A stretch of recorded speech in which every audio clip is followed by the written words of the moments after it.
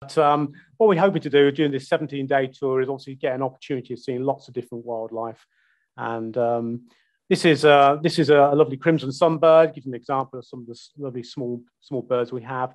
But the beauty of, of Cambodia is that we actually have an opportunity of seeing a whole diverse range of, of different, different uh, disciplines of wildlife. This is a common flange tail, one of the more common but very impressive dragonflies that we would try and see, particularly around the the uh, the Angkor Wat complex. And the beauty about the uh, the temples, of course, is that um, uh, when we actually visit the temples, it's, we're actually in sort of a wildlife um, uh, reserve as well. So we have an opportunity of seeing primates and birds, most of which, unfortunately, I've had to march through just to keep on with the with the timing. So I'm going to move on to a place called Tonle Sap, which is uh, a wonderful large um, freshwater lake, which dominates geography of uh, Cambodia. And we have a wonderful day where we spend some time on the, on the, on the lake and we get up at sunrise, hence the, um, the early sunshine, and we get a whole variety of amazing water birds, normally at very close range, such as this open-billed stork. Uh, there's a wintering population of whiskered terns that we get nice and close to. And some of the wildlife that we'll see there will be fairly familiar to um, European birders, but some will not, and some will be rather special, such as this grey-headed fishing eagle, which sometimes we get extremely close to. Uh, the beauty is that here we go onto a floating village, uh, we capture a, a, little smaller boat, uh, we go to the, the, floating village on a larger boat, we get onto a smaller boat, and then it allows us to go around um, some of the narrow channels uh, around the lake, uh, particularly on, the, on one particular reserve. And as you can see, we often get very, very close to a whole multitude of water birds. That was a Chinese um, the Chinese uh, pond heron and uh, other herons which are around in good numbers, intermediate egrets, which people who go to Asia would probably be fairly familiar with, but quite similar to this great white egret that's all over Britain now. And the yellow bittern is, a, if you like, a version of the little bittern from Europe, and we often get close use of those. But again, a bit of familiarity. Um, so the grey heron has got a fantastic range right across Europe and Asia. And so we do experience uh, grey herons as well, just to show a little bit of something we do know about. Purple herons, a great favourite almost uh, to any bird or almost anywhere in part of the world. And it's interesting that a lot of so-called birds we think of as European extend right out over and in towards China and this side of Asia. Um, other birds we hope to see include, include the lesser adjutant stork, uh, which is quite a rare bird. Um, but we also hope to see the greater adjutant stork, which is even rarer. And really, Cambodia provides one of the few opportunities of seeing that and also the milky stork, which um, is actually a very rare bird. And if you're into your bird watching, particularly the large birds, then there's a whole array of birds that really uh, are only relatively easy to see in Cambodia, even if you've traveled around Thailand and lots of other places. But in these other countries and Cambodia, you, you would be familiar with things like painted storks, such as, such as these. Um, and at Tonle Sap, there's a very large colony of these painted storks, which we get good views of. And we hope to find the rarest storks actually in amongst them. But very graceful birds, gorgeous birds, and these, these feed around in the uh, diminishing uh, wetlands as the, as hot sun um, comes out, um, making prey far easier for them to see. We get extremely close to things like spot-billed pelicans, um, a little bit smaller than the, the great white pelicans that some people may be familiar with, we do get very close indeed. As you can see from this flight shot as it went over the, the front of the boat um, as we were traveling along. Not such a good shot, but an impressive bird is the stork-billed kingfisher. And again, in an aquatic environment, of course, we're always going to see a whole host of kingfishers and allied birds, such as these blue-tailed bee-eaters, which actually occupy a whole range of habitats associated with uh, that desire to catch large flying insects. And um, anywhere in the world, it's always better to catch a swallow. And this is the Asiatic barn swallow. You can see that it's very similar to our barn swallow, just a few little differences. And they winter there in large numbers, obviously, for the, for the insects.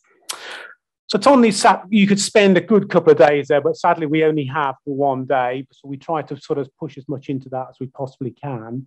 And the next area we go to is An Piang uh, Thamor, which is an interesting area uh, where we hope to catch up with things such as Sarus cranes um, and a variety of owls. And here, this one is, uh, as you can probably see, um, is, a, is, a, is, a, is, a, large owl which is hidden away. It's a spotted wood owl. And uh, on the day when we actually spend some time in this general area, we actually hope to see sort of half a dozen species of owl. Um, this is a similar, similar species uh, called the, uh, the, the brown wood owl. uh, which actually, again, hides well well in the woodland, but the local guides seem to be pretty good at finding these birds for us. So we've always managed to see them. Bit of a job to see this bird. You have to look very hard in the center of the screen to suddenly realize that there's a collared Scops owl uh, sitting quietly in its little alcove. Um, so a little bit of sunlight, a little bit of shadow, uh, and a half hidden bird. So if you can see that, congratulations. And this open area also um, is, is, an interesting area for um, a whole range of other creatures. And one of the things we sometimes see is the, the spotted eagle which we think of this one is probably the, the same as our European spotted eagle, although in actual fact it is possible, it would seem, to get Indian spotted eagle there as well. Um, as like the whole world over, this raptor was in, in disagreement with the, the large crow of the region, which of course is the large-billed crow or, or, jungle crow, which is a familiar bird in most of, um, most of Asia. Again, in open areas with sort of um, agriculture and broken trees, very flat area, um, we encounter black-winged kites, um, which in Europe and now seem to be doing extremely well. Uh, it depends where you go in the world, whether they're called black-winged kite or black-shouldered kite, but in essence, um, we call them black-winged kites generally. Um, Asia can be a noisy place due to cicadas, so we'll certainly see and hear plenty of these wonderful beasts that live at least seven years underground before they come out and emerge as an adult. And occasionally we'll find some receding water areas in this general area, which we'll look for things like comb duck, which is really good. And agriculture is a huge part of the Cambodian lifestyle. So most people live in a sort of third world regime, and, um, and it's very hot and dusty when we go there in the, in the early year, but a great time to actually look for wildlife, and we'll see plenty of cattle. Uh, chestnut, chestnut cat bee eater is a forest specialist that we'll see uh, in some of the areas we go to uh, particularly when we go to um, uh, some of the areas um, uh, of woodland and the uh, dry um, woodland areas which, have, which flood during the, the, the wet season. Um, so here we've got rufous-tailed starlings, and the starlings actually do make a, quite a large group of birds in, in Cambodia, so we'll probably see about nine or 10 species. And the trip overall, we expect to see sort of round about just over 300 species of bird, and normally around about sort of 12 or 15 species of identified mammal. Uh, common myna, if people do travel to, um, to Asia, they'll be fairly familiar with this bird, and we do tend to see them in decent numbers, of course. And uh, the crested serpent eagle, which uh, I think Matt has already showed us a shot of one of these. This is a younger bird, uh, not quite as good looking as, as Matt shot, I don't think. Um, mammals are, sometimes can be hard to come by, but when we do find them, it's rather exciting, such as these, these gaur or gar, however you want to um, say them, which is a, a, forest cow or cattle, very, very heavy uh, cow. Um, there was an endemic um, cow, forest cow to, to Cambodia, but sadly that's now extinct. But there are still small numbers of these gaur, which we came across one night, which was all very exciting. Uh, there's a whole range of different lizards. Um, and we do see quite a lot of them, including these, um, these tree-loving types, which are quite large and can sometimes be half a meter in length with their, with their tail. And we do have an opportunity of seeing sort of some animals as well as simply birds and insects, and there's plenty of culture. And at one site in particular, as we're moving around, uh, we hope to see northern tree shrew, which we did cheat a bit because we put some rice on the bird table, and the, the this tree shrew, which I'd never encountered before, came down to have a little feast. Um, striped tit-babbler is very typical of the understory babblers that we encounter in this part of the world. There's a bird that's got a fairly uh, large distribution. And in some of the, um, in the dipterocarp forests, we hope to actually come across a whole range of different bird species, such as this grey-headed canary flycatcher. And yes, it's that same bird table again, but this time it's a red-billed uh, magpie, um, one of the beautiful exotic Asiatic magpies so much so that I always have a job of getting the tail in the shot. It's so long.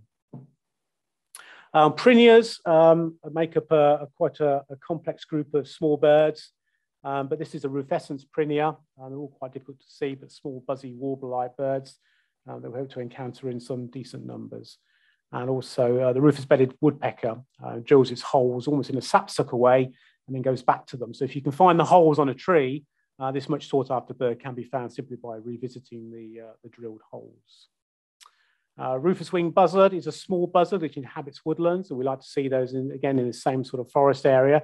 And in this same environment, we'll be looking for things like giant ibis, uh, white-shouldered ibis, which the giant ibis is Cambodia's national bird, uh, one of the rarest birds um, in the world now, um, but doing reasonably well with some really good conservation efforts. And we're there partly to support those conservation efforts. So our visits will actually encourage uh, the locals to pay more attention. But this isn't actually an ibis, as you might imagine.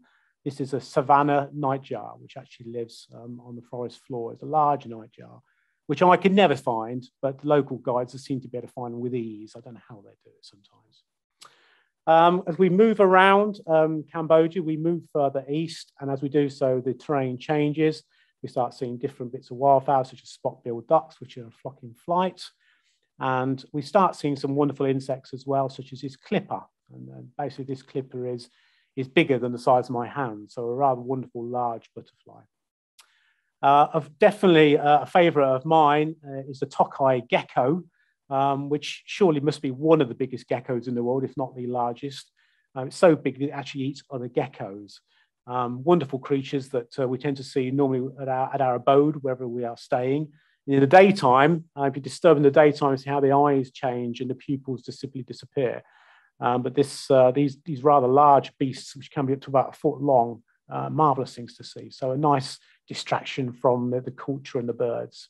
Talking of culture, this is a Cambodian tractor. So it's only got two wheels plus a trailer.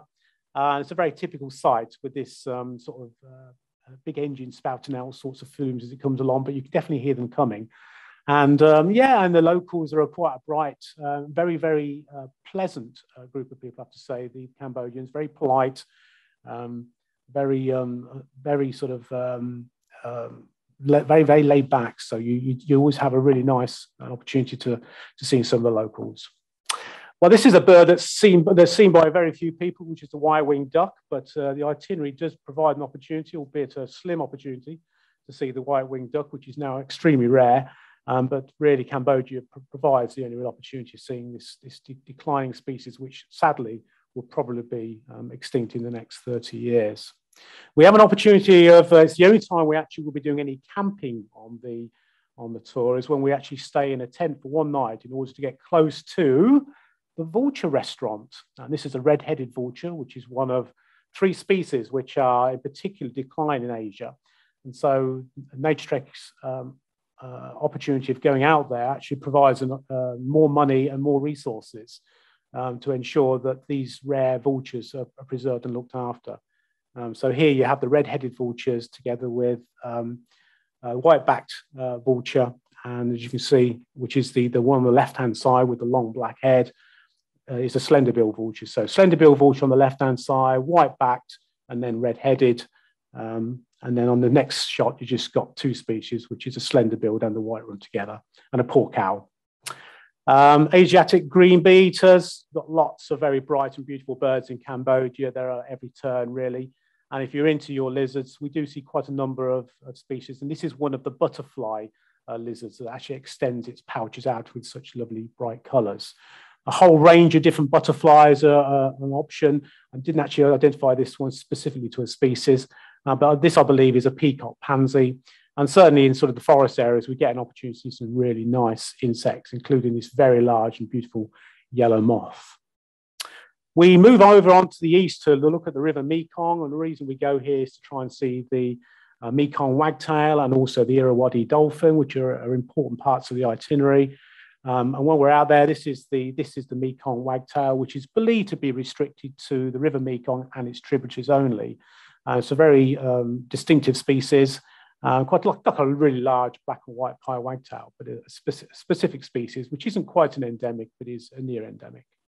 Irrawaddy dolphins, um, if, you if you know about your river dolphins, you'll know that they tend to be quite shy animals, but every tour that we actually did out there, we saw the, the dolphins with comparative ease. So um, certainly if you want to see a beast like this, um, it's a great place to come and do that, as well as see the mighty Mekong, of course. In this particular area, we start seeing a few different bits of wildlife, such as this whip scorpion, which looks fearsome, but is actually quite harmless. And while we're over in the east, we actually have the opportunity of going to the Dak Dam Highlands and up against the Vietnamese border, um, which I don't think any other tour group goes to this part of the world at all. And this, this provides a complete different flavor and gives us an opportunity to get into some, some more different primates, such as the black-shanked douc langur, which is the one that's actually pictured here, albeit fairly distantly. And uh, when we are in our comfortable lodgings and our comfortable hotels, we sometimes get the odd visitor, such as a large tree frog, which I think makes a awful lot more entertainment than just watching TV. And we did actually have an option of, uh, we, we, came across the, this warbler on one of our, one of our tours, uh, which has been identified as a Kloss's leaf warbler. And would appear that um, uh, they're just starting to, to move into, into Cambodia from, from Vietnam. So this was a, a, bird that we weren't anticipating seeing. So my apologies for the quality of the shot, but it's a small Phylloscopus warbler that lives up into the, into the canopy. Uh, for photographers, there is an opportunity with, with blue skies um, to get some reasonable shots of birds other than just water birds. Uh, this was Jerdon's Baza um, that came over and doing a bit of display over one of the Dak Dam highland areas we're at. And the black eagle was an unexpected find, but um, a bird that also came nice and close. And we got some reasonable shots of that as well. The endemic, probably the only true endemic for Cambodia bird-wise, um, is the Cambodian tailor bird, which is what this bird is. Um, there is a partridge in the south, which is believed to be an endemic now as well, simply because its range has become more restricted. And there are lots of other near endemics. But if you certainly want to see some of the um, iconic birds associated with Cambodia, which you can really only see there, I haven't even mentioned Bengal florican, which is getting very difficult to see in other countries now, but there is a reasonably stable population, and we, we go to see that, and we see we see them every time. And I've mentioned the, the ibises and some of the storks, but uh, it isn't just about um, uh, everything that we can see there. It's also remembering the holiday. And you don't have to dress up to go to, to Cambodia. This is the standard dress. Um, so if you're wearing pajamas, you want to wear pajamas all day. This lady was actually tending her sheep, uh, but it was fairly typical of um, Cambodia's very, very laid back style of life and very, very pleasant. And the culture, both modern and historically, um, certainly enriches our, our trip out there as we enjoy the wildlife.